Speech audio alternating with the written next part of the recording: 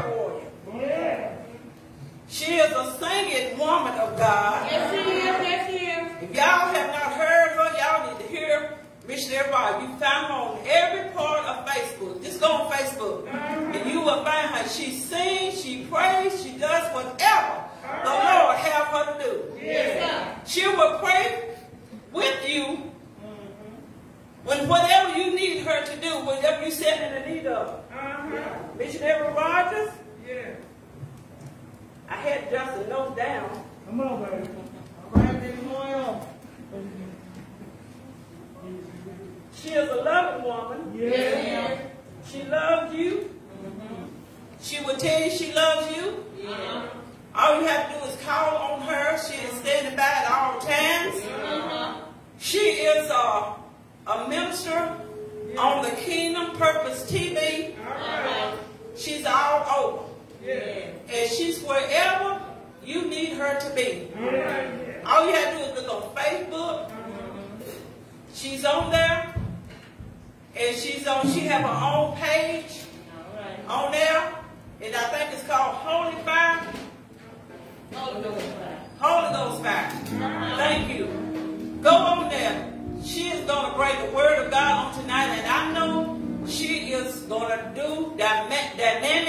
She's going to preach the word of God. Y'all listen to what she has to say. Get in the word. Put it in your heart. Let it abide in you. And do what the word say do. Amen. Evangelist Dykeba L. Rogers.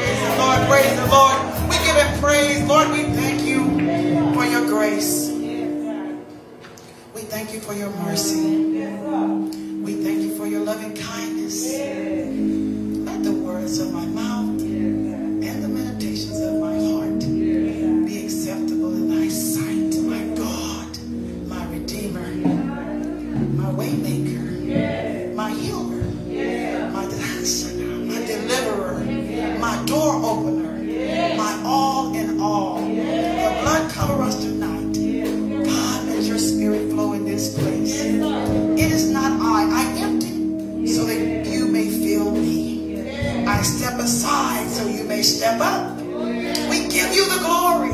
We give you the praise. We give you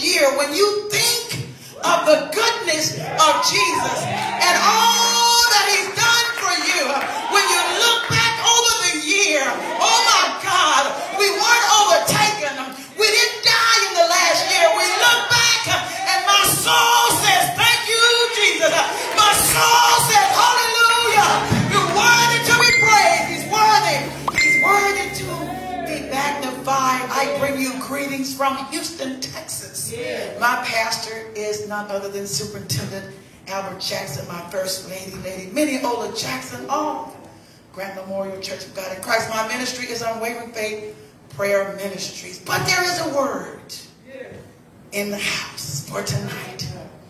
Please grab your Bibles, your iPads, your phones, or wherever you're going to follow. Please grab them now. I praise the Lord for the opportunity to serve Shammah Church of God in Christ another year. Last year, we had church. This year, we're going to have church again. Praise the Lord. We really had a marvelous time. So good to see all of you that I remember from last year and that I didn't see last year, but I remember almost everybody in almost everyone that's in here. And I'm so excited to see your faces. But there is a word in the house for the people of God. God, I thank you for this opportunity. I just thank God for salvation.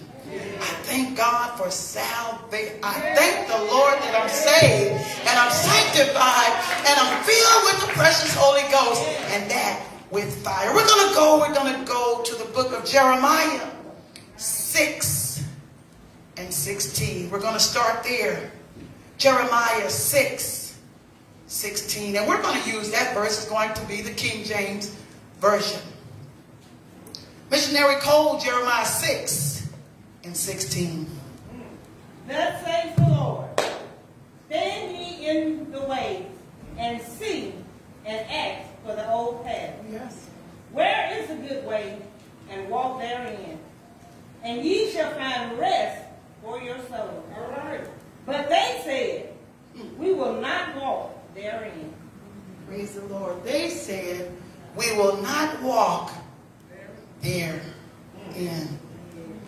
People are always saying what they're not going to do. But there is a path that we should take, a path of holiness, a path of righteousness, a path of sanctification. Proverbs 14 and 12. King James Version, Missionary Cole. There is a way which seemeth right unto a man, Mhm. but the end thereof are the ways of death. Yes, ma'am. Isaiah 35 and 8. Isaiah 35 and 8. And a highway shall be there, Oh, yes. and a way, Yes, ma'am. and it shall be called the way of holiness. Mm.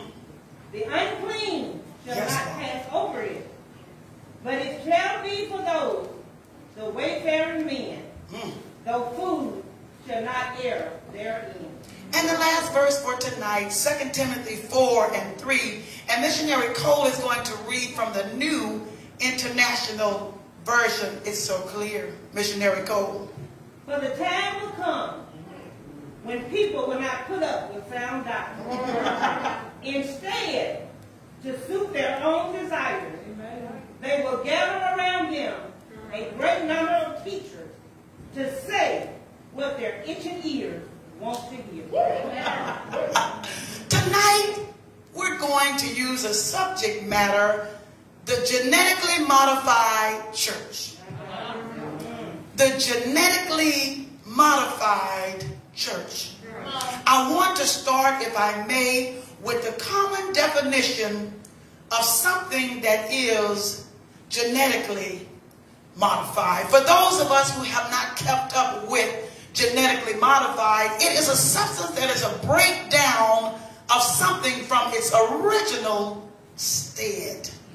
A genetically modified organism is an organism whose genetic material has been altered using genetic engineering. The Agrobacterium's ability to transfer genetic material to plants or to transfer gene to gene. So let me help all of us in the English language. A tomato started as an original seed and then they split the seed and they split the seed and they split the seed and they broke it down until so many times it looks like a tomato but it's been genetically modified. It looks like a tomato. It has the characteristics of a tomato, but because of science, it's been watered down. So when you eat your salads now, you say, this doesn't taste like it used to taste. Why? Because it's been cut and cut and cut until it tastes different. Although it looks the same. Please walk with me.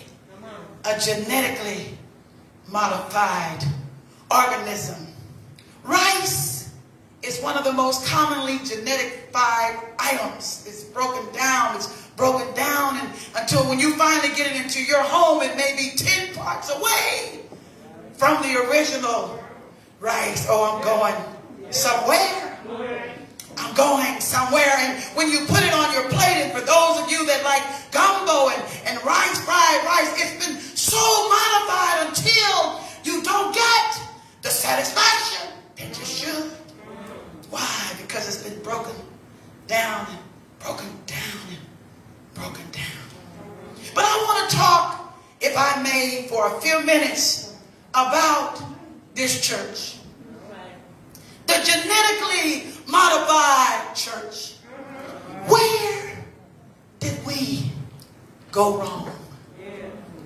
When was it all right to water down the word? When did it become okay to cut corners and to compromise? When did it come okay to stoop and dive and peep and do ungodly things and still get in the pulpit and sing in the choir and you're comfortable, but you're modified from what God wants us to be?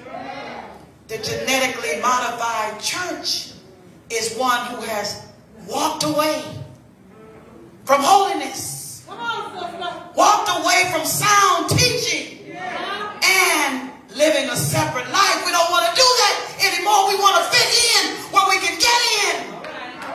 And we want to be popular instead of holy. The devil is a liar. The genetically modified church. When I was a girl, 45 years ago or so, holiness was right. It was all right for your dress to be long. It was all right for you to be covered. It was all right for you to look sanctimonious, but now we've modified the church. Oh, I'm not afraid to tell it. We modified the church. Oh, yes. It's all right to be squeezed in and tucked in now. It's all right to be cleavage low and stirred up high. The devil is a liar. When did we lose it? When did we lose it? When did we lose it? Holiness is still right. Holiness was never wrong. The genetically modified church is comfortable with the dress that slips up when you sit down. The genetically modified church is comfortable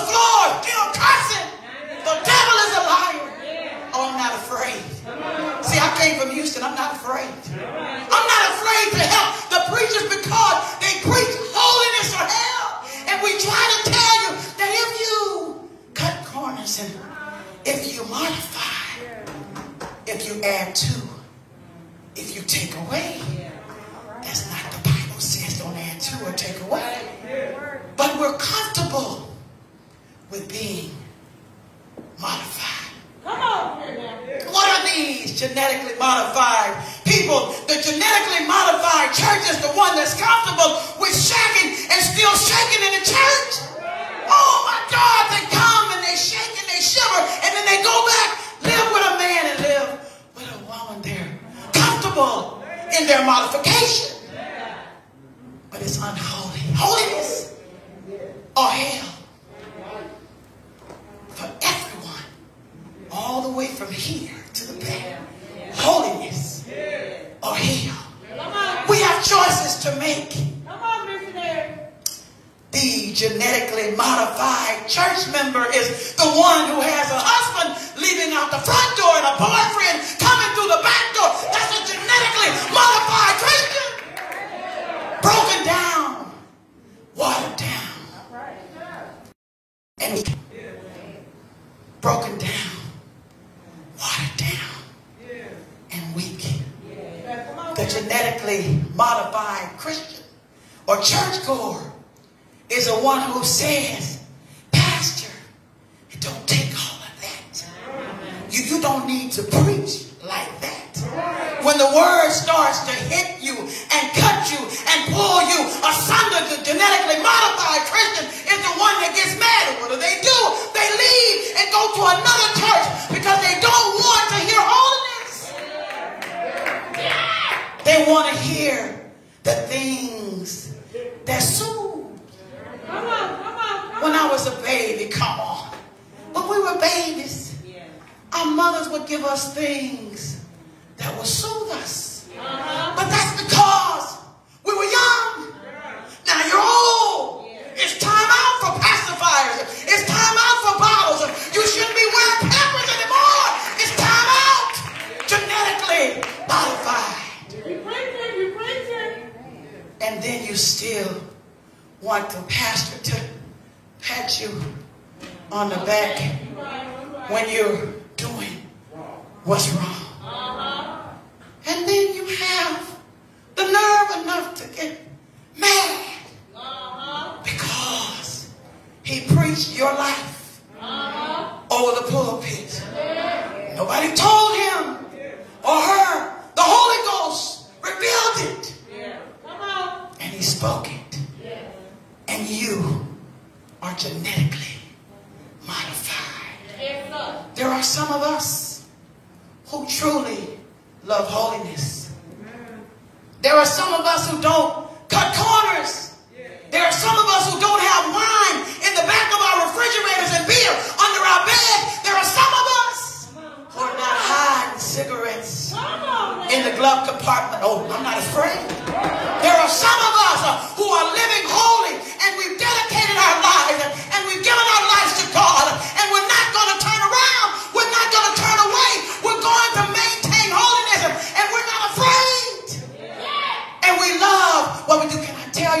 love what I do?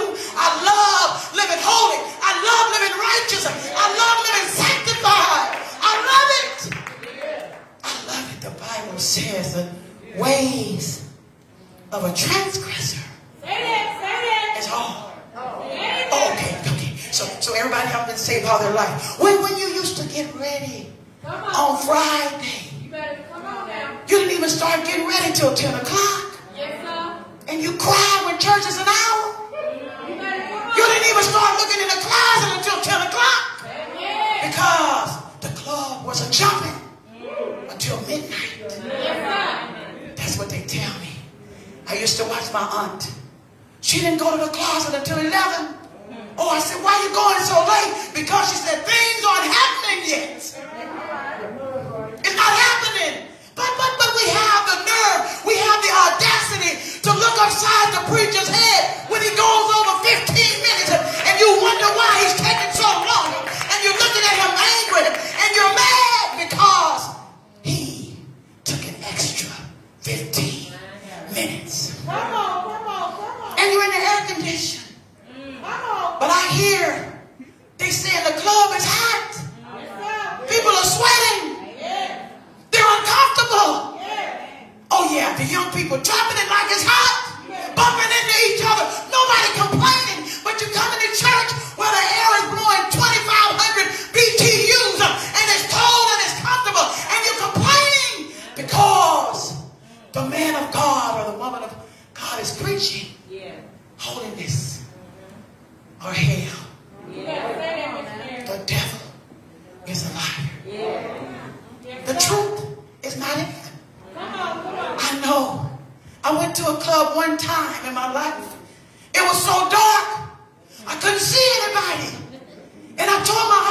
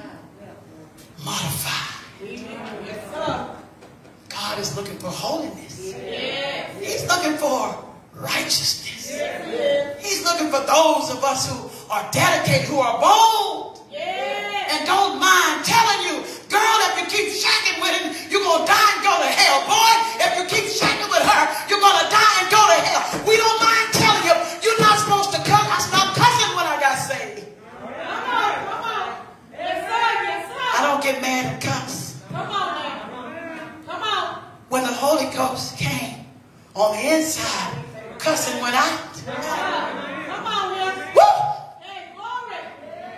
When the Holy Ghost came in, hatred went out. You better say that. Doesn't mean that people are always good. Come on. But the Holy Ghost came in and cleaned up this girl, Yeah. washed her, white as snow, Yeah. washed us. It's a lot of people have a testimony of where they came from. Oh, we weren't always holy. Don't let us fool you. We put on this tie, we put on those ties, we look nice, but we came from some. Oh, that's a revelation. We came from somewhere. Yes, sir. Hallelujah. Some of you came from a darker place than I did. God delivered you from some things. You don't, may not want to talk brought you out of the muck and the mire. And He brought you out of the quicksand. And He pulled you out of the club. And He pulled you out of the dope house. And you have a testimony that only God could have done it. Only God could have pulled you. Only God could have rescued you. Only God could have brought you. You better come on here. Come on here, missionary. Because Let the Lord use we chose to be holy. I'm walking away from the genetically modified church member. See, I have a choice. We, we have choices. You know. Holiness or hell. All the young people, y'all, y'all have choices. Yeah. You can do what the popular people are doing, or you can allow God to speak to your spirit. Religion, salvation, holiness does not have an age upon it. It 15, 17, 23, 25, 35, 41, 57, 60, 70, 80, 90, 102. And the Lord can still save you and sanctify you and fill you with the Holy Ghost. And may I pin right there, it's not hard to get saved. It's not hard. The devil is tricking people. They tell me oft times when they inbox me, well, missionary, you don't understand that um, I, I have to come to Christ when I'm ready. The devil will never let you think that you're ready. You'll be tussling with that thing for the rest of your life. I'm not ready enough. I'm not clean enough. I'm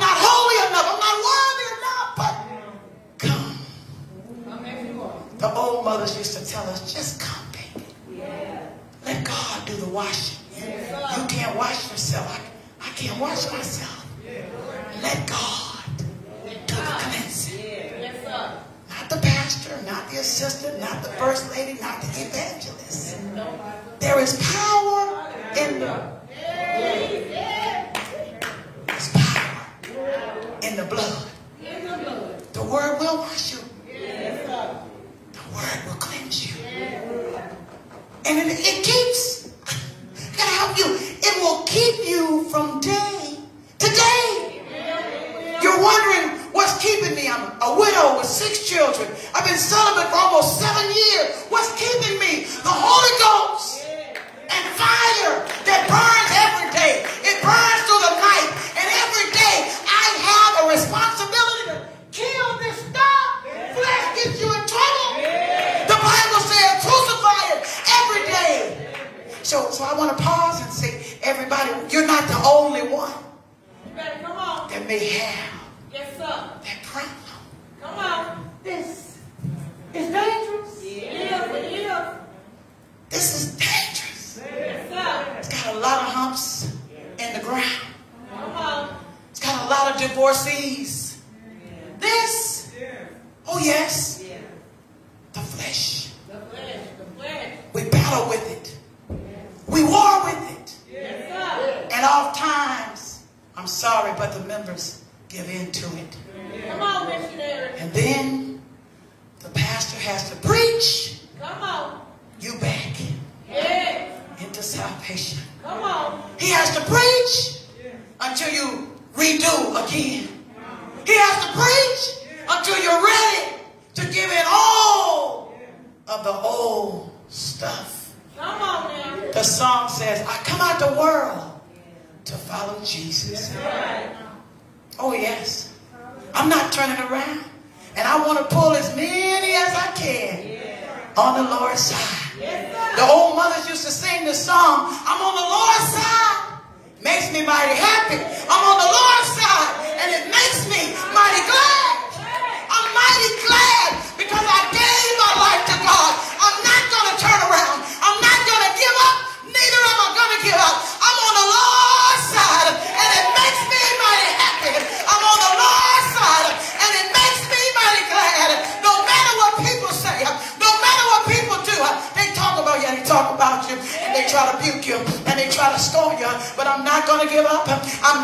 give out.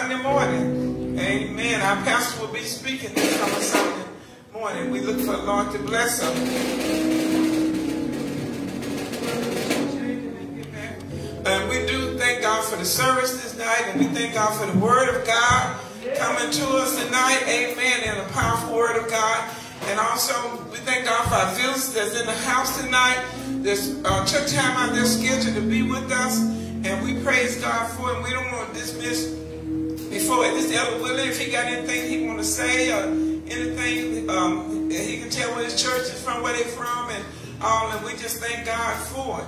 And um, and all of us again, we thank you for being here. I'm gonna know all of your name by name, but we thank God for you and your presence coming to be with us here at Shammah Church of God in Christ. So, El them who you are and where you're from. That's a sharp looking dress. Preacher. Sister Lane, you looking sharp. Thank you, Pastor. Thank you, thank you. Um, uh, we just want to thank God tonight for our being here. Amen. We just give God all the honor and give God all the glory. We are the Greater Harvest Church of God in Christ from Carmen, Mississippi. A one, uh, eight was 1108 Proper Street, there in the beautiful city of Carmen. Amen. Thank God for one of the greatest missionaries in the brotherhood. Amen. Missionary Evangelist Hall. Amen. Thank God for her. Amen. She is, amen, the wife